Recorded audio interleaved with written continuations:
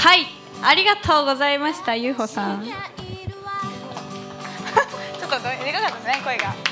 すいませんちょっと。お疲れ様です。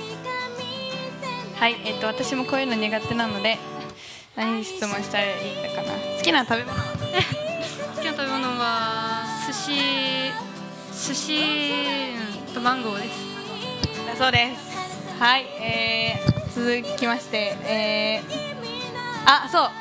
あのなんかね今あそこの受付にいらっしゃるあやめさんと何かなんか曲にミュージックビデオ的ななんかなんかないですかね。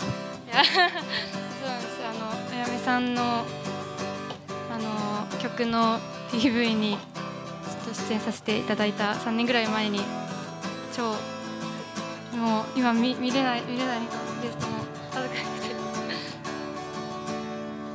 はいはいだそうです。あのはい。YouTube にあのあやめさんのミュージックビデオにはい。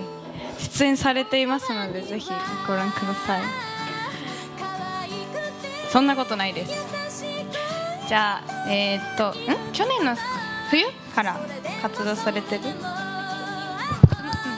較的にはうんともう月3本ぐらいライブに出させて今はいただいてるんですけどそれは、冬ぐらいからで、まあ、その前からもちょくちょくとライブに出演させていただいたりはしました。あと今はどのくらいの頻度でライブされてるんですか？今は、うん、三月3ぐらいですね。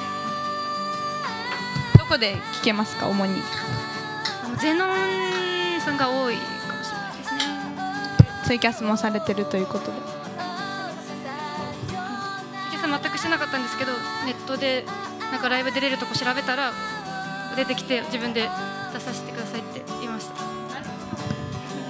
はい。えー、えー、次はね、じゃあ好きなアーティストは？好きなアーティストアーティストか。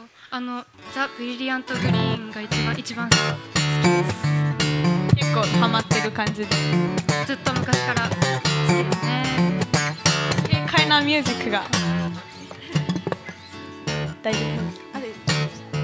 はははははははははは何か最後に皆さんに一言。ありがとうございます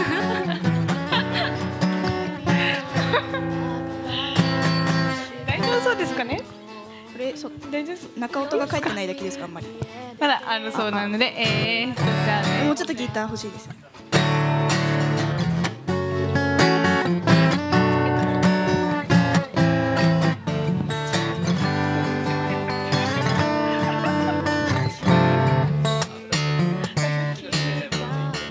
ゆうほさんでした。ありがとうございました。